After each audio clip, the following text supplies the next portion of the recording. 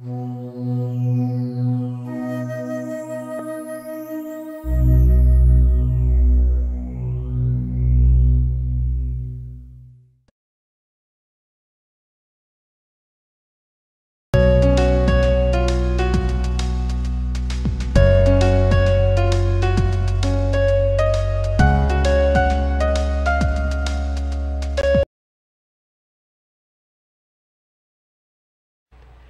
Jesus' name, amen, amen.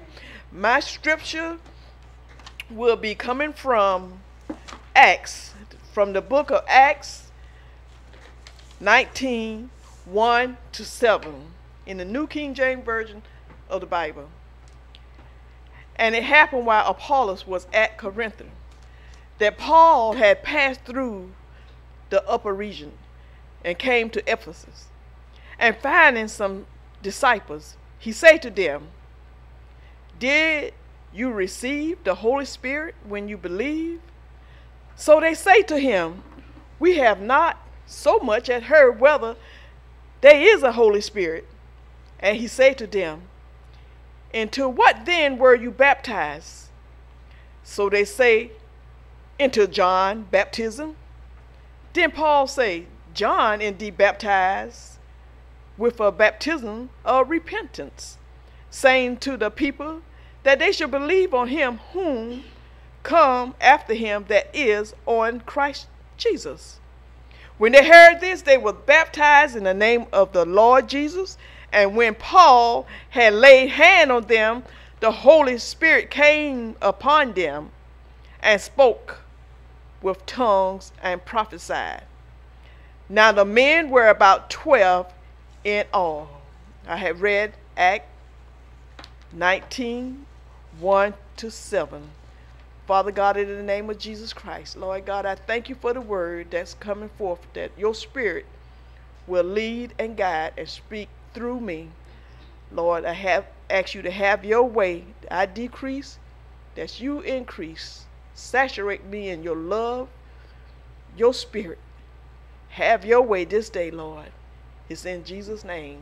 Amen and amen. Oh, glory be to God. My title is Have You Received the Holy Spirit Since You Believe? You know, a lot of people haven't received the Holy Spirit since they believe. You know, Paul, he was passing and he went up to the coast and he went to Ephesus and he finds certain disciples and you know he began to hang around with them. You know it was a group of disciples and apostles. And so he was hanging around them and then he noticed something about them in their ways that it that you know it was different. And you know they were supposed to be disciples but it, he noticed something about them. So he asked them you know, have you received the Holy Ghost, whether they believe in the Spirit? That who operate, you know, the Spirit, the, the Holy Ghost, is they, he's operating the Spirit and he changes the mind of men and, and to give you conviction and conversion and comfort. See, they believe in the Son of God, and a lot of times people accept God, but then they don't finish the whole thing. They don't receive the Holy Spirit. Amen. Amen. And so, you know, the Holy Spirit, He's our comforter. And you know, when you ask somebody, sometimes when you ask a person, have you received the Holy Spirit? It just does something to them. They don't really know if they received the Holy Spirit or not. Yeah. You know, you can ask them, Are you saved? And they'll say, Yes, I'm saved. But if you ask them, have they received the Holy Spirit, it's a pause in there. And then they say, they, they might say, yeah. But see, you have to answer, you have to say that with confidence, affirmative, you know, that you know for surety that you have received the Holy Spirit. And when you receive the Holy Spirit, it won't be about you, it'll be about the Lord speaking through you. You are an empty vessel, and God will speak through you and use you. But you have to know for surety that you do have the Holy Spirit once you you know ask God to come into your life. And this was not all, you know, the gift of the Holy Spirit was conferred upon the apostles and the other disciples after Christ's ascension, which was frequently repeated uh, upon occasionally. And had they participate in these gifts? Hmm? Have they participate in it? Have you received the Holy Ghost since you believe? Have you had that seal of the truth? It's like a seal. God sealed you in Him. Have you received that seal of truth of Christ's doctrine in yourself? Second Corinthians said, in Second Corinthians 1 22 say, who had also sealed us and given the earnest of the Spirit in our heart. And then Ephesians 1 13, it say, In whom ye also trust, after that ye heard the word of truth, the gospel of your salvation, in whom also after that you believe, you were sealed with that Holy Spirit of promise. When you accept the Holy Spirit in your life, it's a seal and no man can take it away. Now, this concern all of us who profess the Christian faith to inquire whether we have received the Holy Spirit.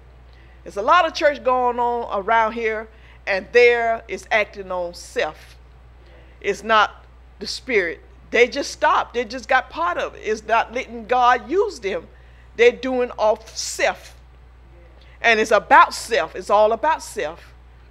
You know, the Holy Ghost is promised to all believers in the book of Luke 11 13, if ye then, being evil, known how to give good gift unto your children, how much more shall your heavenly Father give the Holy Spirit to them that ask him? Amen. So you have to ask, you know, for the Holy Spirit and have an open heart to receive the Holy Spirit in you. You know, they, they are pretenders to the gift of the Holy Spirit. You know, you have some people that are pretender, acting like they got the Holy Spirit. So they are to his grace and comfort. We should therefore strictly examine ourselves. Examine ourselves. Are we acting on our own impulse? Or are we acting or leave, being led by the Spirit of God? Have we received the Holy Ghost since we believe?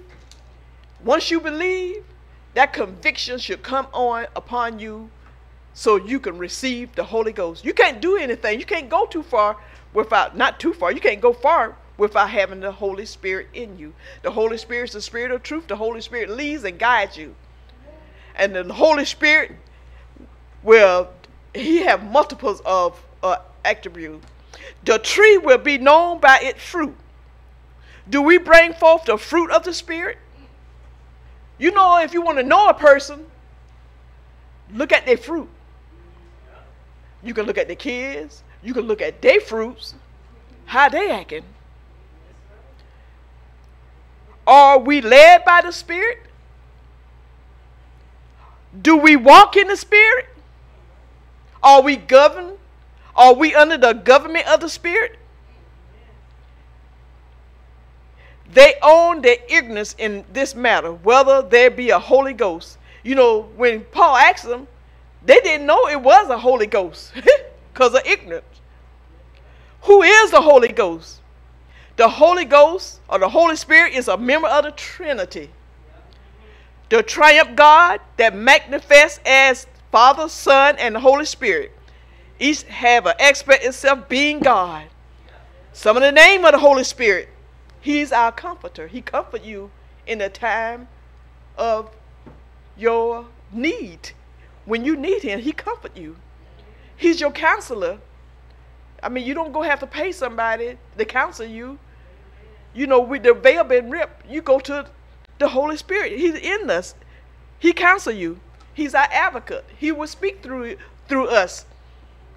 We don't have to have all these millions of paper and books and stuff and the comforter he he's our advocate when you go to court or when you are in school or whatever you know He can speak through you. You can ask God, Father God, you be my advocate in this this courtroom.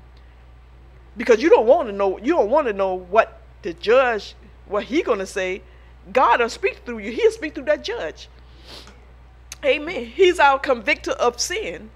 You know, when you do something wrong, he convict you. He's our deposit. Deposit? Yeah, he's our deposit. Deposit is a gift to believer. He gave a down payment on our Heavenly Father inheritance, which Christ promised us as secure for us at the cross. Amen. He's our seal. Seal? Seal is the Spirit has sealed us that we are sure of our salvation. No one can break the seal of God. Amen. Ain't that good knowing that we are sealing God, that our name is written in the Lamb book of life, and that we have eternity with our Lord and Savior Jesus Christ? Now, you know what? This book, Act, is a powerful book. Matthew, it talks about the resurrection. Mark, it talk about the ascension. Luke, it talk about the promise of the Holy Spirit. John, it talk about the promise of the second coming. But in all, Act 1 bring all four of them together. And it's the great missionary commission given in the full gospel, confirmed in Acts. The Spirit come upon you when laying of hands, when you open your heart to Jesus Christ. It's no other way. When you open your heart up to Jesus Christ, you got to want it. You got to have a heart for the Holy Spirit. And boy, when you have the Holy Spirit to lead and guide you, you on you on the road. You on the road. He'll lead you. He'll tell you not to be around people.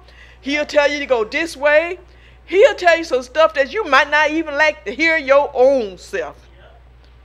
You know, John baptism, when he was baptizing people, he was do, he was preparing the way for the Messiah. Christian baptism is the celebration of the Messiah. Amen. And in the book of First Coronica, Corinthians, excuse me, 12, 13, we were baptized into, we were baptized into the body of Christ. By one spirit, we are baptized in, in, in one body. It's no two, it's no three. By one spirit, it's the other spirit, they not of God. You better let it go. And when you when you're in the spirit, you emerge into the body of Christ. Jesus baptized you too in the spirit. Amen. Sometimes people have so much pride. When you ask them a question like that, when you ask them, have you received the Holy Ghost? You know, sometimes people be embarrassed, but that's the trick of the devil. You know, they might lie to you too. And you know what? They'll miss out. They might keep on doing it. They'll miss out because they don't have a habit of saying yes, they receive it where they haven't received and be to miss out on the kingdom of God. Have you received Jesus Christ as your Lord and Savior? Listen very careful for the response. Your spirit will bear bear witness when you ask a person that. It, they'll have a pause, hesitation, uh, you can hear the, in their voice. It is impossible to follow God unless we are led by the Spirit. The only way to be led by the Spirit is to follow God's command, to be filled by the Spirit in Ephesians 5:18. Being filled with the Spirit, when you become filled with the Spirit, you'll be drunk. You'll be drunk in the Spirit. And I'm not talking about alcohol you'll be drunk in the spirit. You'll do some things, and people probably think you are weird, but you are drunk in the spirit. Oh, what a good feeling that would be. And a person that who is drunk in the spirit is controlled in the spirit. They consume in the spirit by the spirit who help us live a holy life. You know, that spirit living in the Spirit and the Spirit being on us, we'll live a holy life, not a self centered life. It all about us when we live a self centered life because a lot of people living in this world is living a self centered life. you know, they got their own way of living. And when they accomplish stuff or something go their way good, they self-centered. I did this. You know, they led by their own self. How are we filled with the Spirit? The Holy Spirit enter you when you decide to give your life to Christ, to become a Christian. But we need to continually ask the Holy Spirit to lead us and to guide us, to help us do the things God wants us to do. When we were growing as Christian, we should allow the Spirit to take over more and more area of our life. You know, we have to let the Spirit take over our life. We'll be like almost like in a trance because we are walking the Spirit of the Lord and He'll lead and He will guide us. In John 14, 15 to 27, and in John 16, 5 to 15, in Romans 8, 1 to 17. These are some passages, you know, verses, you know, of the Holy Spirit that plays many roles in our life. And, he, and there's many, many more verses, you know, because he bring the promise that the Spirit bring us peace. And in Galatians 5, 22, 23, this is a good one. If you want to really know how a person, how they are being led, or if that person is of God, you know, it's all about their heart. What come out of their heart. You know, you know, they, you don't want any kind of, I mean, if harsh words and all kind of stuff come out their heart, that's their fruit coming out. Your fruit, the fruit of the spirit, is love. You ever see people sad all the time? The fruit of the spirit is joy. You you ever see people uh, scared or, or something wrong in their life? You can look at their face. The fruit of the spirit is peace. You ever see a person not patient, always in a rush or hurry or something, don't have time? Fruit is patient. You ever see somebody so rough, harsh to other people, not loving them? Fruit of the Spirit is kindness, it's goodness, a person that is not faithful, that's not of the fruit. The fruit of the Spirit is faithfulness. You ha- also have to be gentle, gentleness, and you got to have self control. If you ain't got that self control, I don't know what kind of person you are. And all these are evident, or these are evident in your life. Since we live by the Spirit, let us keep step with the Spirit. I pray that as you take these steps each day, it will bring you closer to God and to living the kind of life He wants us to live. Did you receive the Holy Spirit when you believe? And you can ask a person that. Oh, you ought to ask a person, are you a believer? You know, they might be neither one you know, there might be people in the church, they probably act like they're full of church people are saved and filled up with the Holy Spirit. But why are you arguing? Why are you doing this this way? Why you why you have love? Why you don't want that man come up here he's homeless to sit in the front row because he smell? You have to have love and compassion for people. You can tell a person, a pastor, pastor, the people that's in God by their lack of spirit dynamic you know, there don't have anything that look like Christ but the world. Amen. We have to be a believer, possess a great excitement, enthusiasm for the Lord, for others. And we have to meet some Christian who is, you, you, I know you have met some Christian that are dull, no dynamic, no life, nothing. Right, nothing. They show no real love for spiritual things. They can go to a baseball game, a football game, and you say, you look, they don't act like that in church. That's the world. Have you received the Holy Spirit? What have you been doing lately could, could generate or expose explosion of excitement?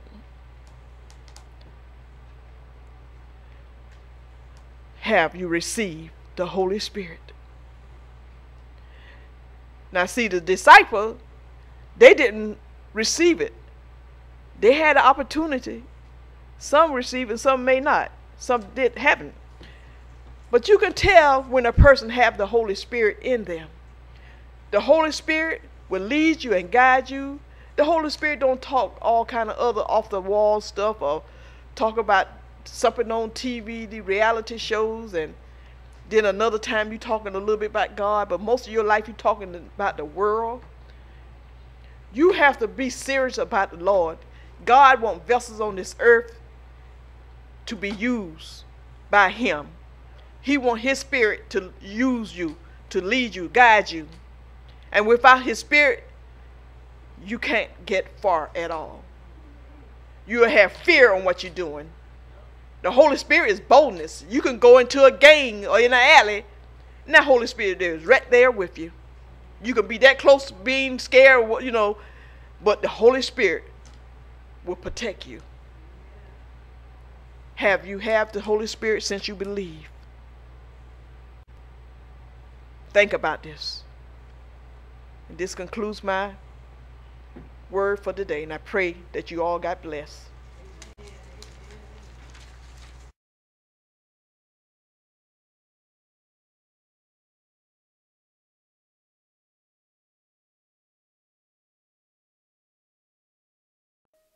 Mm-hmm.